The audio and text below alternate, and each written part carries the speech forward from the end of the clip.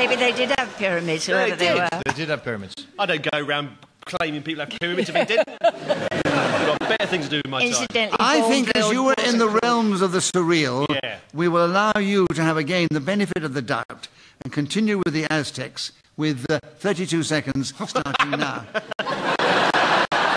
32 seconds to talk about the Aztecs is not as bad as it seems because now it's probably about 24. Uh, Sue challenge. It's probably about 27. Well, what's your challenge? Deviation from time as we know it, Yeah. which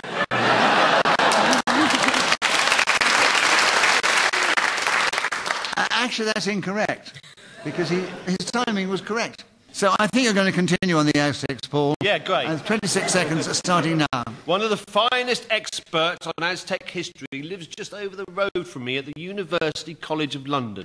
His name is a magnificent name. I was, I was trying to avoid professor. Right, Sue. I think we know what the challenge was. Yes. Yes, So at last you got in on the subject, Sue. 16 seconds. The Aztecs starting now. the Aztecs love burritos, mariachi bands, and human sacrifices, and we're doing rather nicely, thank you very much, until around the 1520s when I think the Spanish turned up. A conquistador gave them a blanket, which. Uh, Marcus challenge. I think it's conquistador. It not, is conquistador. Not co- conquistador. I'm just a bit common. Yeah, I think that's deviation from the correct word or pronunciation. Conquistador. Oh, Conquistador. when you pronounce it like that. Marcus, benefit of the doubt. Oh, you have the you. subject because that is the correct pronunciation. The Aztecs with you. Five seconds starting now. As tech speak takes over, I find it increasingly difficult to understand what young people are saying.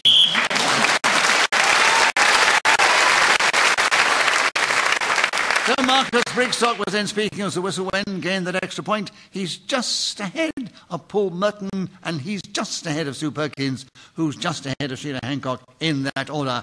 And Marcus Brigstocke, we're back with you to begin, and the subject now is winter sports. From Aztecs to winter sports, what a range we cover in this show. 60 seconds starting now. I love winter sports. For those of you not familiar, it mainly involves paying a phenomenal amount of money to be carried in a lift to the top of a mountain and then prevent yourself from dying on the way down. This is not easy to achieve, particularly because you have to attach levers to your feet, which is something the human body can barely withstand. However, I can promise you that hurtling down the side of a hill with snow spraying in your face, feeling like you're conquering nature, is entirely a mistake because you're almost certainly going to hit a tree or a rock, as Sonny Bono did and so many before him.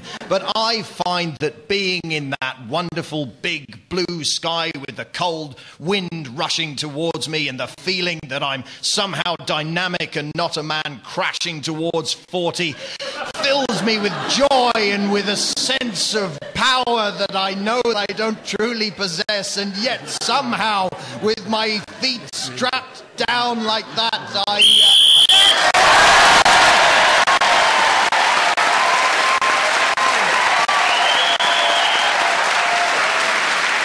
Well, that was truly magnificent. You were I'm really, done. Thank you. you were really reliving what you love so much. Marcus, you not only kept going until the whistle went, and you gained an extra point for doing so, you get a bonus point for not being interrupted. Uh,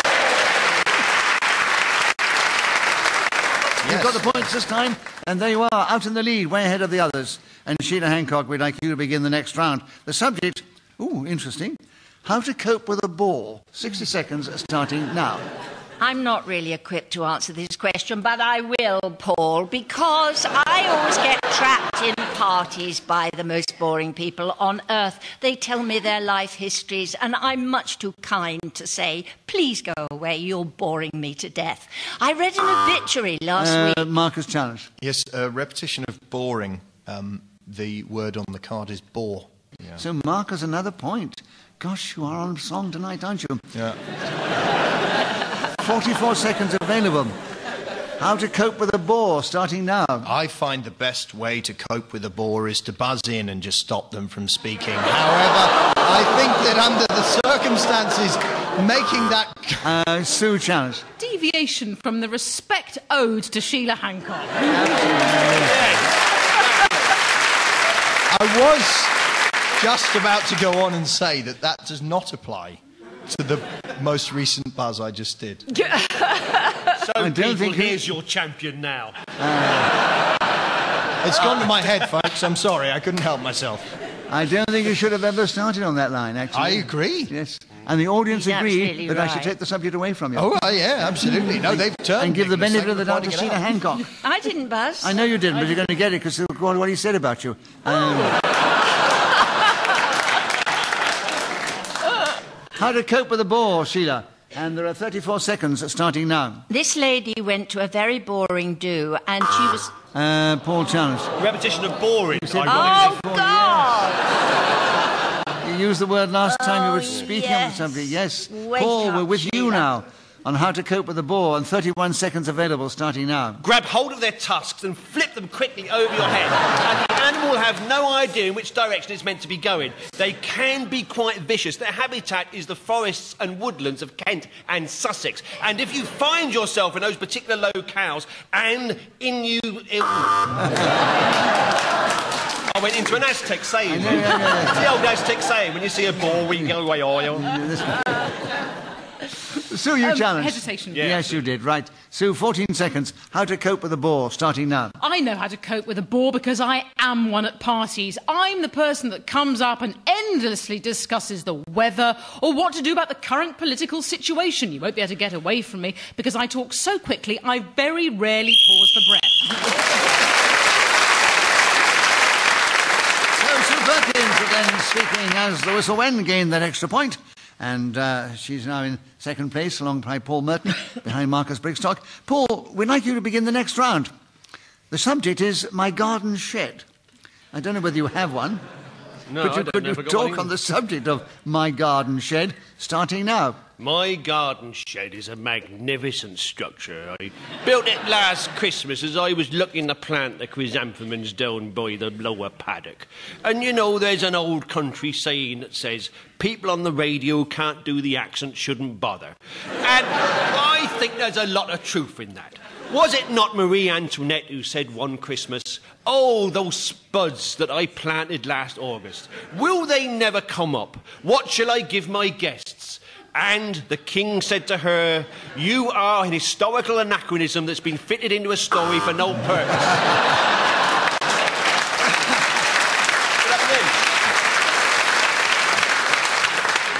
Sheila, you challenged. This is not about garden sheds, is it? It's gone way off the subject. Well, I hadn't thought about it. I've been enjoying it so much. Oh, Mar- Marie Antoinette was growing her stuff around the back of the garden shed. you see. He got away from my garden shed, mm. and, uh, and and that is true. Sheila. He wasn't even talking about sheds. I know, but so you've got the correct. It's a nice challenge. gaff, though, you've got. You've got a paddock and everything. Yeah, yeah, lovely. Nice. It's indoors. Sheila, correct challenge. A point oh. and 25 seconds. My garden shed starting now. My garden shed is used for little seedlings and growing things that I'm going to replant in the garden. I have pots and I have shears. And Paul I haven't got a garden shed. Yeah. Repetition of have. I have. Yeah. I have. Yes. Paul, you've got the subject back. You've got 14 seconds. My garden shed starting now. I do have a garden shed, and like most garden sheds, it is made of wood. Good, solid pine. As I look at it, I can't help but feel that British craftsmanship is absolute British Uh, craftsmanship. Sue challenge. Slight stumbling, British Yeah, craftsmanship. definitely. like hesitative stumble. He got the word out. Yeah, got the but- word out. No, he didn't. He stumbled. You haven't even got a garden shed. I don't know what you're butting. At least I've got a shed. You haven't. I have. Have you? Yeah. I Oh. saved up for it. and I'll have a garden one day to go with it. Just you see. Just you see. Paul, I'm going to give you the benefit of the doubt. Oh, yeah? All right. Three seconds. Tell us more about my garden shed starting now. The interior is beautiful, full of screws. Marcus, you challenge. More deviation. He said it's a simple wooden structure made of pine. I mean, how beautiful could it be? Oh, full of screws, washers, very neat. It all looks lovely. Yeah, lovely. I've got It's a not beautiful, bastard though, is it, file Paul? hanging up just there. It's, What's it- that? It's something used in metalwork. It- you look it up. It's not swearing in metalwork. It's called a bastard file. What is it? I mean, It's a you, file that's a bastard. Actually, Marcus, if, if you have a garden shed and you love it, Yeah. then things inside it do have a beauty to it for you. You're saying mean, the shed is in the eye of the beholder. Yes. So, benefit of the doubt, Paul. Oh, gosh, you've only got half a second. Oh. Right, my garden shed, Paul, starting now. Tulips.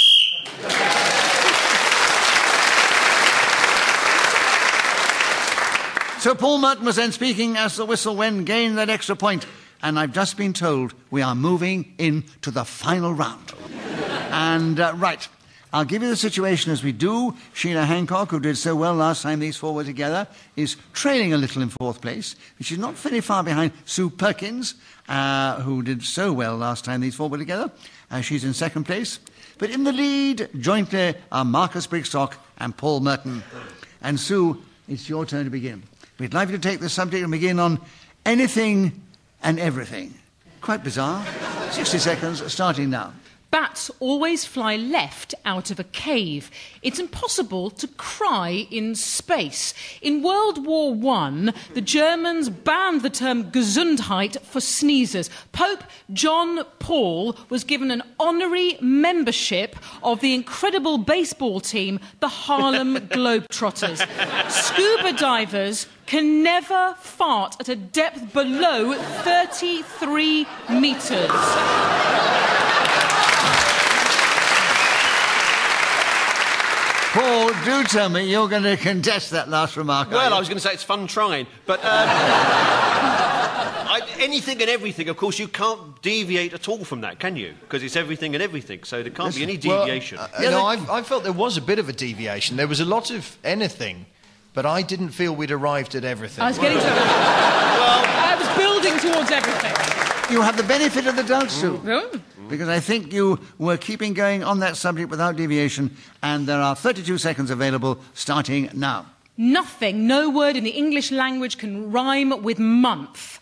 Oranges taste unpleasant to members of the Perkins family to whom they are allergic. My grand. Uh, Paul, Sheila Challenge.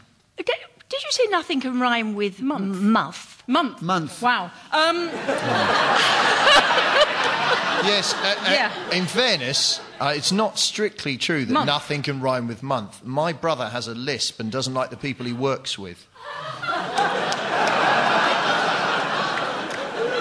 welcome to BBC Radio 4. Nicholas, Nicholas, whatever you do, don't explain it. I think there is a word that rhymes with month. What is it? I don't know.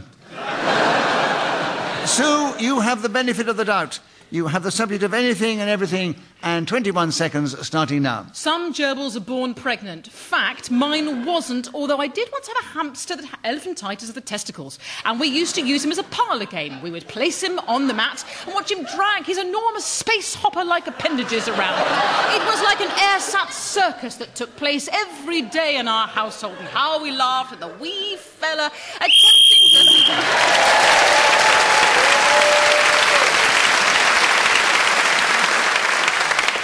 Anything and everything. Yeah, well, that's right. Anything and everything. Yes, very it was good. it was very devious, but it was anything and everything. But Sue, you kept going to the whistle when gained that extra point for doing so. You have moved forward. So the lovely Sheila Hancock was in fourth place, but. Uh, But she trailed Sue Perkins, but Marcus Brigstocke and Paul Merton were equal in first place. So another round of applause for our winners.